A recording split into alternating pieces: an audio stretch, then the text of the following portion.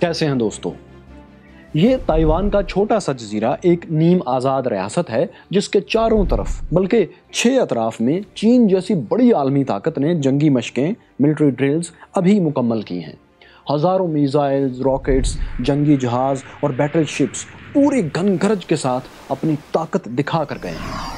چار اگست سے سات اگست تک، فور ٹو سیون اگست تک یعنی چار دن تک جاری ان ملٹری ڈرلز کا ہر لمحہ دنیا نے اس خوف سے دیکھا ہے کہ کسی بھی وقت ایک میزائل، چائنیز میزائل تائیوان کی سرزمین پر گرے گا اور دنیا یوکرین کے بعد اس سے بھی بڑے ایک بحران میں گر جائے گی۔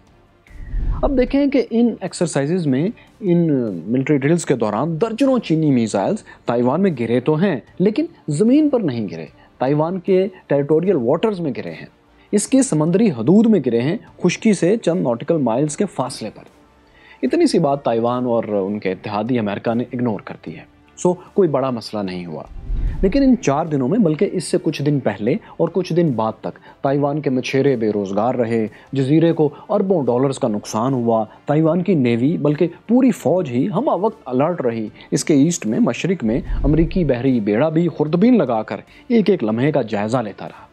لیکن چینی مشقیں اپنے وقت پر مکمل ہو گئیں پرامن طریقے سے۔ کوئی بڑا مسئلہ نہیں ہوا۔ تائیوان کا کتنا بڑا نقصان ہوا، لیکن ان ڈرلز کے دوران اس کا اندازہ آپ اس تصویر سے لگا سکتے ہیں۔ اس میں ڈاٹس نقطے جو ہیں، وہ، یہ وہ جہاز اور کشتیاں ہیں جو ہمہ وقت تائیوان آ جا رہی ہوتی ہیں۔ کچھ مچھیروں کی، ماہی گیروں کی، کچھ سیاحوں کی اور زیادہ تر تجارتی نوعیت کی ہوتی ہیں۔ ٹریڈ شپس یہ ہوتے ہیں۔ تو ان چار روزہ مشقوں کے دوران یہ سارا کاروبار اچانک بند کروا دیا چائنیز ملٹری نے۔ بلکہ چینی حملے کے خوف میں یہ کچھ دن بعد پوری طرح کھل سکے۔ یہ مشقیں اس وقت شروع ہوئیں جب امریکہ کی بیاسی سالہ، eighty two years old speaker Nancy Pelosi نے چار ملکی دورے کے دوران اچانک غیر اعلانیہ طور پر اپنے جہاز کو موڑ کر تائیوان میں اتار دیا۔ انہوں نے ایسا کیوں کیا؟ نینسی پولوسی کے من میں ایسی کیا سمائی کہ اس نے دنیا کی چیخ نکلوائی۔ دہائی، محترمہ، دہائی۔ دوستو، اسی سال اکتیس جولائی کی شام امریکی سرکاری website speaker dot G O V پر ایک پریس ریلیز اپلوڈ ہوئی تھی۔ اس میں بتایا گیا کہ امریکن ہاؤس آف ریپرزنٹیٹیوز کی speaker Nancy Pelosi Indo Pacific region کے دورے پر جا رہی ہیں۔ یہ انڈو پیسفک ریجن ایشیا کا وہ ریجن ہے جو پیسفک اوشن سے بحر الکاہل سے لگتا ہے۔ آپ تصویر میں یہ ریجن دیکھ بھی رہے ہیں۔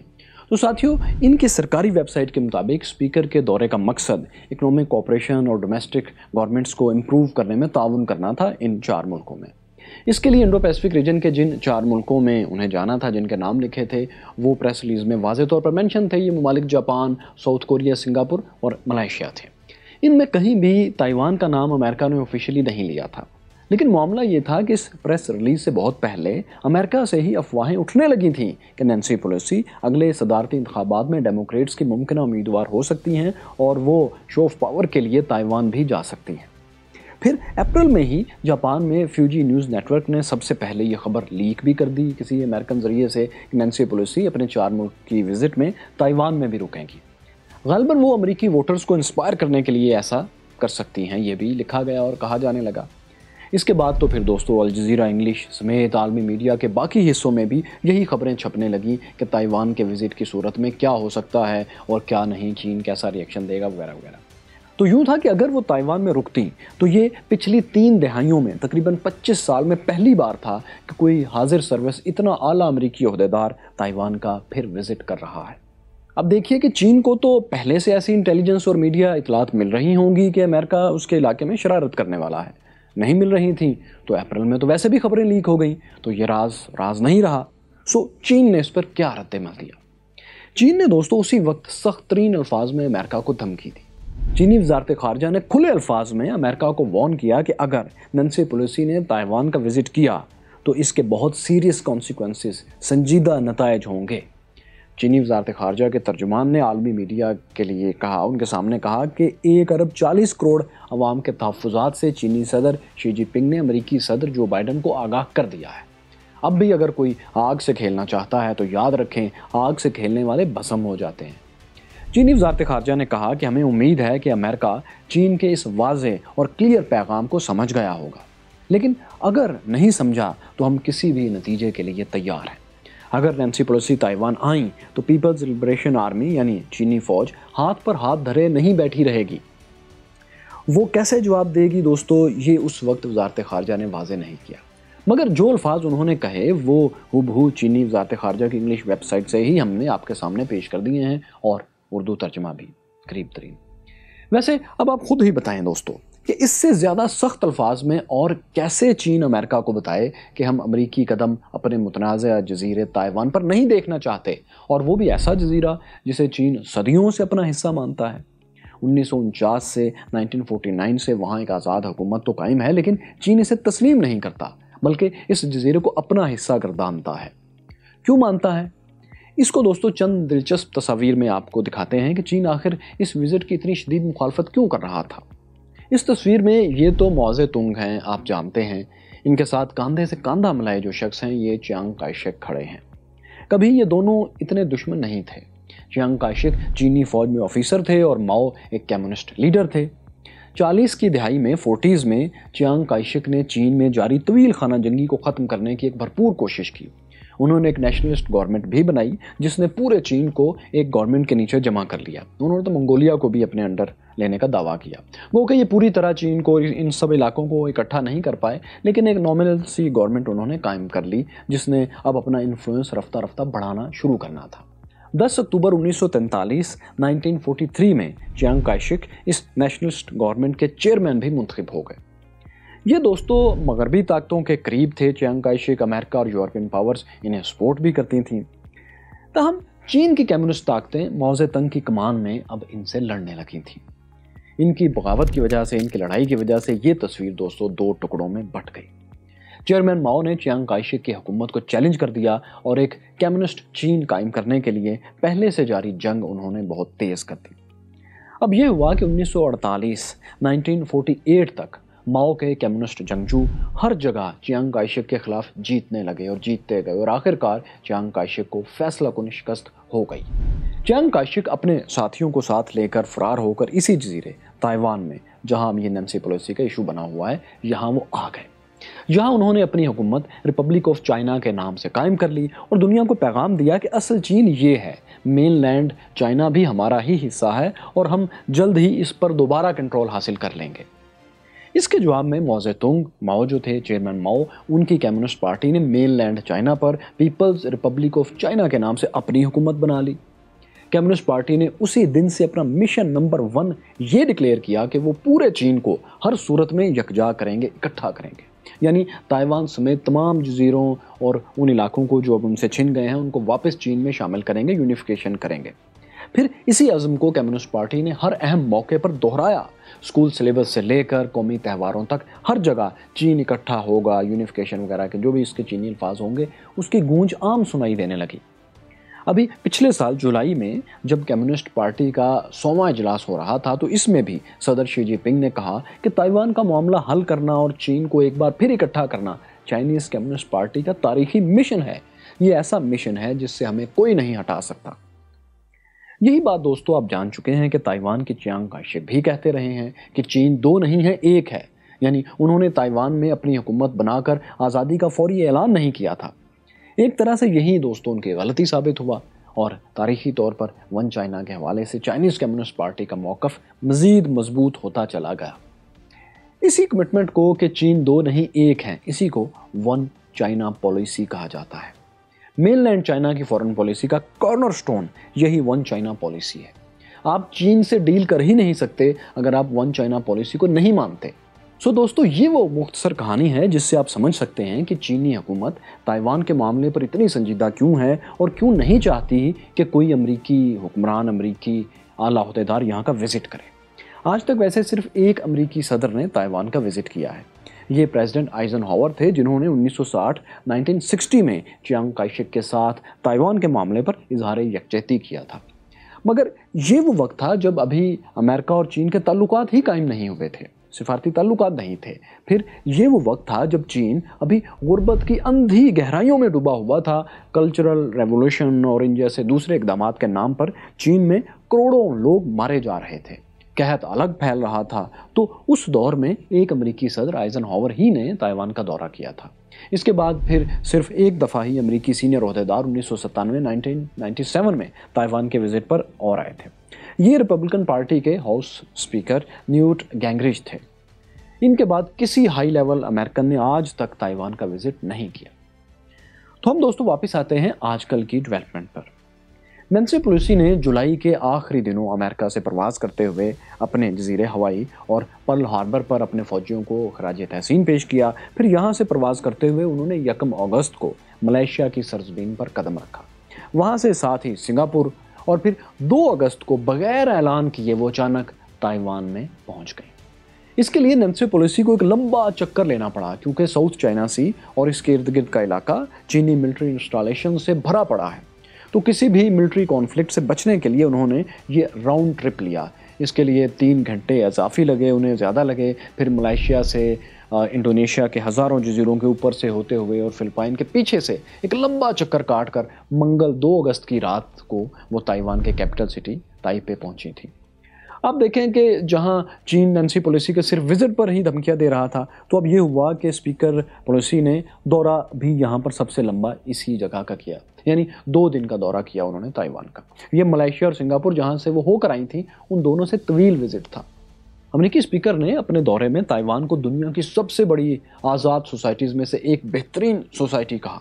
پھر انہوں نے امریکہ کے اس عزم کو بھی دہرایا کہ ہم تائیوان کو کبھی اکیلا نہیں چھوڑیں گے اور یو ایس اے کو تائیوان سے دوستی پر ہمیشہ فخر رہے گا اور فخر ہے۔ دوستو، آپ کے علم میں ہوگا کہ جب نینسی پولوسی بہت جونیئر کانگریس وومن تھیں تو انہوں نے بیجنگ کے تینمن اسکوئر پر، تینمن چوک پر چائنا میں ایک بینر لہرایا تھا جس پر لکھا تھا کہ جمہوریت کی خاطر یہاں مارے جانے والے بہادر چینیوں کو سلام۔ دراصل تینمن اسکوئر پر چینی حکومت نے 1989 میں جمہوریت کے لیے احتجاج کرنے والوں پر ٹینک چڑھا دیے تھے۔ ان جمہوریت پسندوں میں سے بہت سو نے پھر ہانگ کانگ میں جا کر پناہ لے لی تھی۔ ہانگ کانگ جو چین کا حصہ ہے، چین کے جغرافی کے اندر ہے، اس وقت چین کا حصہ نہیں تھا، بلکہ برطانوی کنٹرول میں تھا۔ تو ننسی پولیسی انہی جمہوریت پسندوں کے ساتھ اظہار یکجہتی کے لیے ہانگ کانگ آئی تھیں۔ وہاں سے انہیں چین کے جمہوریت پسندوں نے ہی ایک احتجاجی بینر دیا تھا، جسے وہ اپنے سامان میں چھپا کر پھر چین میں تنمن اسکوئر تک آئیں یعنی چین میں، اور یہاں آ کر بطور احتجاج اسے لہرایا بھی انہوں نے۔ نینسی پلوسی اس وقت اکسٹھ سال کی، آج کے حساب سے دیکھیں تو نوجوان تھی کیونکہ اب تو بیاسی سال کی ہیں۔ تو جب انہوں نے بینر لہرایا تھا تو چائنیز پولیس جو قریب ہی موجود تھی، وہ بھاگ کر آئی اور انہوں نے بینر چھین لیا اور نینسی پولیسی کو تھوڑا بہت کھینچ تان کے انہوں نے پھر تھوڑی دیر بعد چھوڑ دیا ان کو وہاں سے لیکن زبردستی ہٹا دیا گیا۔ اس لیے آپ کہہ سکتے ہیں کہ تائیوان کا یہ حالیہ دورہ نینسی پولیسی کا ایک ذاتی جذباتی نوسٹلجک فیصلہ بھی ہو سکتا ہے۔ لیکن آپ دیکھیں کہ وہ اپنی شہرت پوری دنیا میں بہرحال پھیلانے میں کامیاب ہوئی ہیں۔ کیا اس سے پہلے آپ ان کا نام جانتے تھے؟ یقیناً نہیں۔ اور اپنی کمیونٹی میں بھی وہ یعنی امریکہ میں جہاں مبینہ طور پر انہوں نے اگلا الیکشن لڑنا ہے، تو وہ ایک نڈر لیڈر کے طور پر جانی، جانے لگی ہیں۔ یہ ان کو فائدہ ہوا ہے۔ تو خیر اب جیسا کہ یہ انچاہا وزٹ ہو گیا جس کا چین اور دنیا کو پہلے سے اندیشہ تھا، تو چین نے فوراً اپنا رد عمل دیا۔ انہوں نے پانچ اقدامات فائیو سٹیپس فوری لیے، جن میں امریکہ سے کئی بہت اہم قسم کی میٹنگز جو ہونا تھی ان کو چائنا نے منسوخ کر دیا کینسل کر دیا۔ اس کے علاوہ چین نے فوری طور پر تائیوان کے چاروں اطراف میں، جیسا کہ آپ نقشے میں دیکھ رہے ہیں، چھ مقامات پر جنگی مشقیں شروع کر دیں۔ ان ملٹری ایکسرسائزز کے لیے ملٹری ڈرلز کے لیے خاص طور پر ایسے مقامات چنے گئے، چین نے چنے، جہاں سے میزائل بھی تائیوان کے سمندری حدود میں گریں اور تائیوان کی آبادی کو جنگی مشقوں کی گھن گرج مسلسل سنائی دیتی رہے۔ خوف میں وہ لوگ مبتلا رہے۔ پھر دوستو، تائیوان چھوٹا سا جزیرہ ہونے کے باوجود چین سے بھی پچھلے سال تک تین سو اٹھائیس اشاریہ تین، three twenty eight point three billion dollars کی تجارت کر رہا تھا۔ جس میں تائیوان ہی فائدے میں تھا یعنی وہ چین کو زیادہ ایکسپورٹس کرتا تھا۔ مگر اس وزٹ کے بعد چین نے تائیوان کی فائدہ مند ایکسپورٹس میں سے کئی پر کرونا وائرس کا الزام لگا کر بین لگا دیا ہے، پابندی لگا دی ہے۔ ان میں مچھلیاں فروزن سی فوڈز فروٹس اور کنسٹرکشن مٹیریلز سینڈ وغیرہ شامل ہیں۔ اس کے علاوہ آپ گریٹ گیم میں دیکھ چکے ہیں کہ کیسے چینی ہیکرز اپنی حکومت کی مدد اور مدد کے بغیر بھی ایک مشن اور کاروبار سمجھ کر ہیکنگ کرتے ہیں اپنے ملک کے فائدے کے لیے۔ اب تائیوان اور امریکی اداروں کے ان محکموں پر ہیکرز کے بہت سے حملے بھی ہوں گے، جن سے چین کو کارآمد معلومات مل سکتی ہوں گی کہ اس دورے میں کیا کچھ طے ہوا، کیا باتیں ہوئیں یا اس کے بعد کیا ہونے والا ہے۔ چین یہ کرتا ہے۔ اور یہ کیسے کرتا ہے؟ امریکہ چین کے خلاف پھر کیا کرتا ہے؟ اس پر آپ ہمارے یہ ویلوگز دی گریٹ گیم کے ضرور دیکھیں، یہ انسائٹ ہے۔ دوستو، نینسی پولیسی کے وزٹ سے تائیوان کے پریزیڈنٹ اور نینسی پولیسی کو تو اپنے اپنے ملکوں میں سیاسی فائدہ پہنچا، لیکن جزیرے کے مسائل حل ہونے کے بجائے بڑھ گئے۔ چین اور تائیوان میں تلخی بڑی ہے، کم نہیں ہوئی۔ یہی وجہ ہے کہ امریکہ اور تائیوان میں بھی بہت سے مخالفین نینسی پولیسی کے وزٹ کو غیر ذمہ دارانہ حرکت کہہ رہے ہیں۔ کیونکہ جب سے یہ وزٹ ہوا ہے، تینوں پارٹیوں کے امریکہ، چین اور تائیوان سب کے خدشات آگے کی طرف چلے گئے ہیں، بڑھ گئے ہیں۔ تینوں اپنی اپنی جگہ مزید خوف زدہ ہو گئے ہیں۔ ان تینوں کے خوف کیا ہیں؟ تائیوان کو تو ظاہر ہے، یہی خوف ہے کہ جس طرح روس نے یوکرین کے قریب بیلاروس میں جنگی مشقیں کرتے ہوئے اچانک اس پر حملہ کر دیا تھا۔ تو کہیں چین بھی ایسا ہی نہ کر دے۔ کیونکہ روس کے اٹھائیس فروری کے حملے کے بعد سے اب تک یوکرین اپنا کافی سارا ایسٹرن اور سودرن ریجن بہرحال روس کے ہاتھوں کھو تو چکا ہے نا۔ سو تائیوان کا یہ خوف اور بھی بڑھ گیا ہے کہ چین تائیوان کی بڑھتی ہوئی عالمی مدد دیکھتے ہوئے کسی بھی وقت اس پر مزید پابندیاں لگا کر جنگی اقدامات بھی کر سکتا ہے۔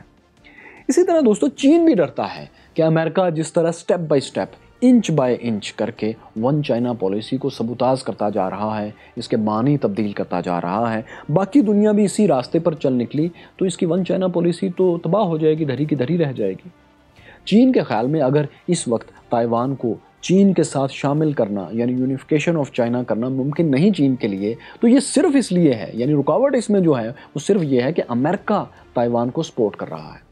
اگر امریکہ پیچھے ہٹ جائے تو چین کے خیال میں تائیوان کو اپنے ساتھ شامل کرنا اس کے لیے کوئی مشکل کام نہیں۔ سو امریکہ اور امریکہ کی شہ پر باقی دنیا کے تائیوان سے قربت چائنیز کمیونسٹ پارٹی کو اس خوف میں لے جاتی ہے کہ جانے چین کبھی ایک ہو بھی پائے گا یا نہیں۔ بس یہی چین کا ڈر ہے اور یہ ڈر نینسی پولیسی کے وزٹ کے بعد بڑھ گیا ہے۔ پھر دوستو، چینی کمیونسٹ پارٹی کا اہم ترین بیسواں اجلاس ٹوینٹیتھ پارٹی کانگریس اگلے دو تین ماہ میں ہونے والی ہے۔ اس میں چینی صدر شی جی پنگ، جو کہ اس وقت پارٹی سربراہ بھی ہیں، وہ تیسری دفعہ بھی سربراہی لیڈرشپ لینا چاہ رہے ہیں۔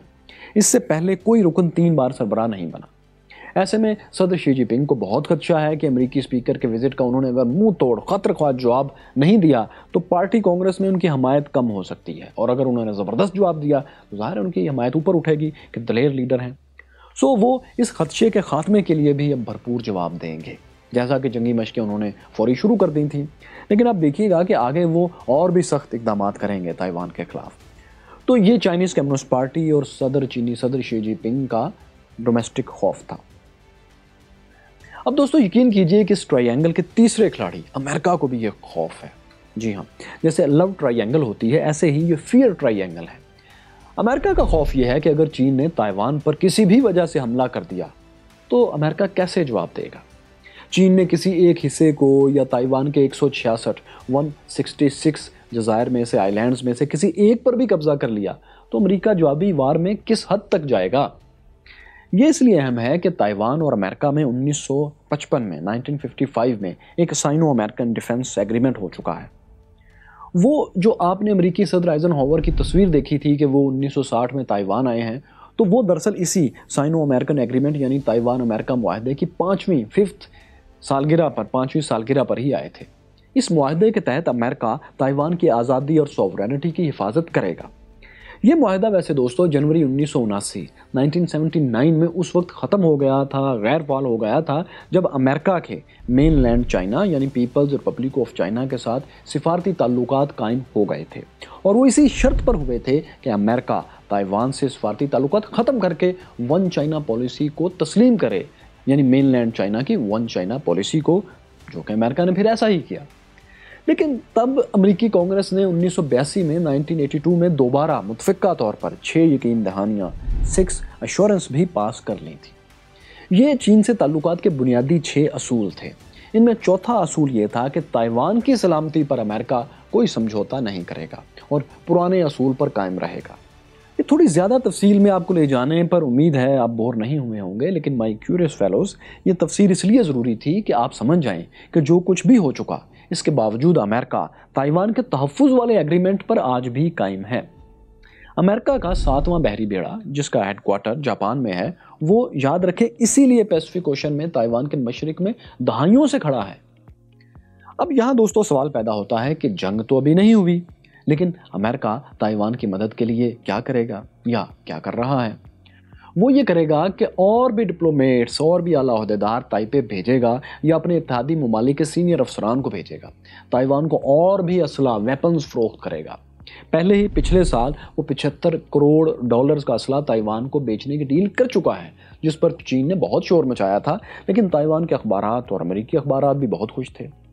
پھر دوستوں معاملہ زیادہ خراب ہونے پر تائیوان پر اگر چین بہت ہی دباؤ ڈالے گا، تو امریکہ یہ کر سکتا ہے کہ وہ انیس سو پچانوے، چھیانوے، nineteen, ninety five, ninety six کی طرح تائیوان اسٹریٹ جو چین اور تائیوان کے درمیان پتلی سی سمندری پٹی ہے، وہاں سے اپنا ساتواں بحری بیڑا، ایئر کرافٹ کیریئر کوئی بھی گزار دے گا، تاکہ ایک شو آف پاور ہو جائے کہ امریکہ تائیوان کے ساتھ ہے اور چین ذرا خبردار رہے۔ اب اگر امریکہ ایسا کرتا ہے یا کرے گا، اگر اگر کرے گا تو دوستوں واقعی چین کے لیے اور چینی حکمرانوں کے لیے، ان کی لوکل سطح پر، عوام، عوامی سطح پر، ان کی مقبولیت کے لیے ایک بہت بڑا چیلنج پیدا ہو جائے گا۔ آپ کیا سمجھتے ہیں، کیا چین اور امریکہ میں تائیوان کے ایشو پر جنگ ہو سکتی ہے؟ میرا نہیں خیال کہ ابھی نیئر فیوچر میں، مستقبل قریب میں ایسا ممکن ہے، کیونکہ امریکہ ایک روس یوکرین جنگ ہی نہیں سنبھال پا رہا۔ دنیا اس سے بڑے تنازع کا بوجھ فی الحال اٹھانے کے قابل ہی نہیں۔ مغربی ممالک، خصوصاً یورپ کی، تو چیخیں نکل چکی ہیں۔ سری لنکا جیسے چھوٹے چھوٹے ملکوں کا تو دیوالیہ نکل گیا ہے بنگلہ دیش کی ابھرتی اکانومی بھی اب سٹرگل کرنے لگی ہے۔ یورو تک ایک ڈالر کے برابر آ چکا ہے۔ پاکستان بڑے مشکل حالات میں آ گیا ہے۔ اگلا سال دو ہزار تیئیس ٹوینٹی ٹوینٹی تھری جو ہے، اسے حالیہ تاریخ کا دنیا کی ابھی ریسنٹ ہسٹری میں دیکھیں، پچھلے بیس، پچیس سال میں تو یہ بدترین معاشی سال اسے کہا جا رہا ہے۔ ایکسپرٹس کی پروڈکشن یہ ہیں۔ تو ایسے میں اگر امریکہ اور نیٹو نے چین کے ساتھ کسی بھی نوعیت کا سیریس کانفلکٹ شروع کر دیا تو یورپ کا جو تھوڑا بہت حکا پانی چل رہا ہے، وہ بھی بند ہو جائے گا۔ پوری دنیا کا دیوالیہ سا نکل جائے گا۔ وہ ملک جو زیادہ ایکسپورٹس کرتے ہیں، وہ سب سے زیادہ متاثر ہوں گے۔ کیونکہ ان کی پروڈکٹس خریدنے والوں میں، ان کی مصنوعات خریدنے والوں میں اب اتنی جان ہی نہیں ہوگی کہ وہ مزید امپورٹس کر سکیں، بلکہ وہ امپورٹس کم کرنا شروع کر دیں گے۔ یعنی مجموعی طور پر ساری دنیا کا نقصان ہو جائے گا۔ اس لیے بہت کم امکان ہے کہ یہ معاملہ فی الحال اگر کنٹرول میں رہا اور اسی طرح چلتا رہا، تو کسی بڑے کانفلکٹ کا باعث نہیں بنے گا۔ لیکن اگر بن گیا تو دونوں ملکوں کی تیاری پوری ہے، تباہی کی۔ جیسا کہ صدر بائیڈن نے چینی صدر شی جن پنگ سے کہا تھا کہ کسی چھڑی ہوئی جنگ سے بھی زیادہ بدترین جنگ وہ ہوتی ہے جو نہ چاہتے ہوئے چھڑ جائے۔ ویسے آپ ایک بات بتائیں مائی کیورس فیلوز چین کی تیاری تو سمجھ میں آتی ہے، یہ تائیوان بھلا کیا تیاری کر سکتا ہے؟ اتنا چھوٹا سا جزیرہ، اتنا چھوٹا کہ اس جیسے دو سو پینسٹھ جزیرے ہوں تو مین لینڈ چائنا بنتا ہے۔ اتنا چھوٹا علاقہ۔ اپنے سے سینکڑوں گنا بڑے حریف کا مقابلہ کرنے کے لیے بھلا کیا تیاری کیے ہوئے ہو سکتا ہے؟ پہلے خود سوچیں، پھر اس ایشو پر ہمارا یہ وی لاگ دیکھ لیں۔ جبکہ یہاں اور یہاں کیسے چین اور امریکہ ایک دوسرے کے راز چوری کرتے ہیں اور روسی صدر پیوٹن کیسے بیرون ملک اپنے مخالفین کو قتل کرواتے ہیں، یہ بھی دیکھ لیں۔